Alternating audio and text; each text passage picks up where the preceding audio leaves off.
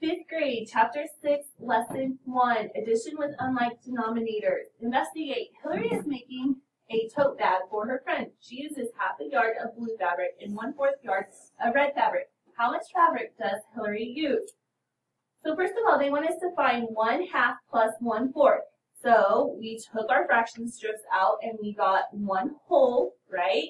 And then we got one half and we got one fourth. And then we um, put them up together. And we found out that one half plus one fourth was three fourths. And then so Hillary uses three fourths yard of fabric. Draw conclusions. Describe how you would determine what fraction strips all with the same denominator would fit exactly under one half plus one third. So we took out our what guys? Our one half strip and our one third strip and we found that we needed to find a common denominator or a common multiple between 2 and 3. And what did you guys find? Uh, five, six. We found that 1 6 was the common denominator and it took how many of those pieces to fill up? 5. It, we found out that 5 6 made up 1 half plus 1 third. Um, Explain the difference between finding fraction strips with the same denominator for 1 half plus 1 third and 1 half plus 1 fourth. So with 1 half and 1 third, we had to do what? We had to change both denominators. We had to change both denominators. But with 1 half and 1 fourth, we only had to change The one denominator because 2 can go into Four. 4. So we came up with a common denominator of 4. Make connections. Sometimes the sum of two fractions is greater than 1. When adding fractions with unlike denominators, you can use the one whole strip to determine if the sum is greater than 1 or less than 1. Use fraction strips to solve 3 fifths plus 1 half. Step 1. Work with another student. Place three 1 5th fraction strips under the whole strip on your math board. Then place the half fraction strip beside the three 1 5th strips. Okay, so you should have done that. And then what did we say we found out? That the third fifth goes over like a little bit. A little bit, right? Okay. Step 2. Find fraction strips all with the same denominator that are equivalent to 3 fifths and 1 half. Place the fraction strips under the sum at the right. Draw a picture of the model and write the equivalent fractions. Okay, so you guys got out your one tenth, right? Because you decided that a common multiple between 5 and 2 was 10. So you got out your one tenth pieces. And then how many one tenth pieces did it take to make 3 fifths? Six. 6 what? Fifths. tenths. And then how many one tenth pieces did it take to make up the one half? Five tenths. Five tenths. Step three, add the fractions with the like denominators. Use the one whole strip to rename the sum in simplest form. So we said that three fifths was also six tenths. And then we said that one half was five tenths. So six plus five is what, guys? Eleven. 11. And your denominator does not change. It would not be 11 twentieths. Okay? It is 11 tenths. You do not change your denominator unless you're coming up with a common denominator. Okay? So, once we did this, how many whole bars do you have? One. One. And then how many would have went over the whole bar? How many tenths? And One and one tenth, tenth. one tenth. So one and one tenth. So basically when you have a whole number and you have a fraction, like that little space right between them kind of says the word and. Okay? So one and one tenth. Share and show. Use fraction strips to find the sum. Write your answer in simplest form. So you were supposed to go ahead and do your red bar with your half and your one eighth size pieces. And then we decided that a common denominator would be what, guys? Eight. Eight, right? So we needed to change the one half. So how many one eighth size pieces were in one half? Four. Eight. Okay, so four eighths. And then we didn't have to change the three eighths, right? So that would have stayed the same. So plus three eighths equals equals Seven eighths. seven eighths is what you should have gotten.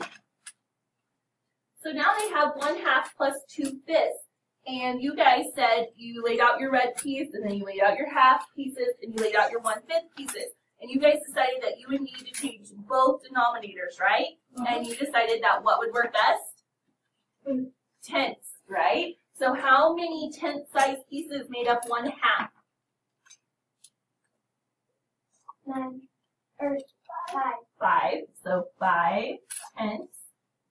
And then how many tenth size pieces made up two fifths? Four. Four tenths equals Nine tenths. Ten. nine tenths. Use fraction strips to find the sum. Write your answer in simplest form. So, you guys did your whole strip and then you did one, um, three one eighth pieces and you did one one fourth piece. Did you have to change both denominators? No. No, what stayed the same? The one. The Three eighths, right? So three eighths stayed the same. And then what do you have to change one fourth to? Two eighths. Two eighths. So three plus two is Um, five. And then I told you guys your denominator does not change. So your answer is five eighths. five eighths. Okay. Now, on the next one, did you have to come up with a new denominator for three fourths and one third? Yes. Yes. What was your new denominator? One, twelve. You used twelves, right? So you should have changed them into 12 size pieces. So how many 12 size pieces were in three fourths? Four. Okay, Nine. nine. So this would have been nine twelfths. And then how many would have been in one third? Four. Four. So four twelfths. Nine plus four is what? Thirteen. 13 twelfths. But they want this in simplest form, and that's an improper fraction. So that is that in simplest form. Now, how many times does 12 go into 13? Once. And what is 13 minus 12? One. 1. And then I told you your denominator never changes. So your answer is One in one one twelve. 1 in 112. So use fraction strips to find this sum. Write your answer in simplest form. So, like I just said, we're going to um, do a little um, multiplication to actually get our common denominators this time. Okay? So it'll be what you see eventually. We're just going to kind of speed up the process a bit. Okay? Now, 2 fifths plus 3 tenths. Do you guys think both of those denominators need to change or only one? One. Only one. Okay? So which one are we going to change? The 2 fifths or the 3 tenths? Two fifths. 2 fifths. So what I'm going to do is right here, I'm going to put a multiplication sign. And we know we want to get to what? 10, right? Is our common denominator. So how did I get from 5 to 10? Times 2. So what I do on the bottom, I do on the top. 2 times 2 is 4. So my new fraction for 2 fifths is 4 tenths. And then did I change 3 tenths? No. Hmm. No. So that equals what? Seven Seven. tenths. 7 tenths. 1 fourth plus 1 twelfth. Do I need to change both denominators or only one? One. Only one. So what am I going to change it to? 12, right? So I'm going to go ahead and put 1 12 because I'm not changing that one, right? All I'm changing is the 1 fourth. So we said my new denominator was going to be 12. So what times 4 gets me 12? Three. 3. So what I do on the bottom, I do on the top. So 1 times 3 is Three. 3. So I'm going to write 3 twelfths down here in place of my 1 fourth.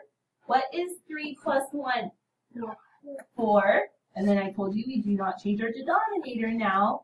But 4 twelfths can also be reduced. It is not in simplest form. What number goes into 4 and 12? Three 4 goes into 4 and 12, right? How many times does 4 go into 4? Once. Once. And how many times does 4 go into 12? Three. Three times. So the answer is one third. One half plus one, or plus three tenths. So, am I going to change both denominators or just one? One. One. Okay, what is my new denominator going to be? Ten. Ten. So I'm going to go ahead and rewrite three tenths. And then we said this is going to have to become a ten. So what, how did I get from two to ten? Times five. times 5. So what I do on the bottom, I also do on the top. So 1 times 5 is Five. 5. So 5 tenths plus 3 tenths equals Eight tenths. 8 tenths. Now, is that my simplest form? No. No, because they're both even numbers. So we know at least the number 2 goes in there. There could be another number, but we for sure know at least the number 2. So we know we at least need to reduce one time. So how many times does 2 go into 8? Four. 4 times. And 4, or 2 into 10? Five. 5. So our answer is Four fifths. 4 fifths. Alright, I have 2 thirds plus 1 sixth. Do both denominators need to change or just one? Just one. What are we going to change our denominators to be? Six. Six. So I can go ahead and rewrite one sixth, and I need to change two thirds. So we said six. How do I get from three to six times two? So two times two is Four. four. So my new fraction is four 6 plus 1 6 equals Five. Six. five six.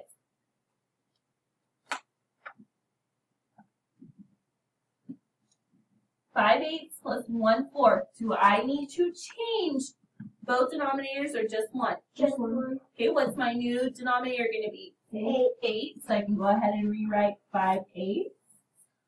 And then we said we need to change the second one to an eight. How did I get from four to eight? Times two. times 2. So what I do on the bottom, I do on the top. 1 times 2 is 2. So my new fraction is 2 Two eighths. So 5 eighths plus 2 eighths is Seven eighths. 7 eighths.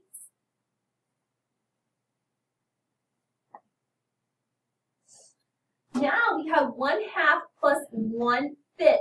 Do I need to only change one denominator or two? Two. Two. What is going to be my new common mul- my new common multiple or new common denominator? Ten. 10. Okay, so we know that this is going to be a 10 plus something over a tenth. So I need to change both sides, right? How did I get from 2 to 10 Times five. times 5? What I do on the bottom, I have to also do on the top. So 1 times 5 is 5. So my new fraction for there is 5 tenths. Now we need to change 1 fifth. How did I get from 5 to 10? Which Times 2. What I do on the bottom, I also have to do on the Top. top. So 2 times 1 is Two. 2. So my new fraction for 1 fifth is 2 tenths. So 5 tenths plus 2 tenths equals Seven tenths. 7 tenths. So 3 fourths plus 1 sixth. So what, we want a least common multiple, right? I told you guys to find a common multiple, and a lot of those you just have been multiplying, like 2 times 5 got you 10, right? Mm-hmm. In this case, if you did 4 times 6, that would get you 24, but there is a smaller multiple than 24. What is it? Twelve. 12. So we know for each one of these, our new denominator will be 12. So what would I take 4 times? Three. Times 3. What I do on the bottom, I do on the top. So 3 times 3 is 9. So my new fraction is 9 twelfths. What do I take times 6 to get to 12? Two. 2. What I do on the bottom, I do on the top. So 2 times 1 is 2. So 9 plus 2 is Eleven. 11 twelfths will be my answer for that one because 3 fourths when it became 9 twelfths, 1 sixth became 2 twelfths, and 9 plus 2 is 11 twelfths.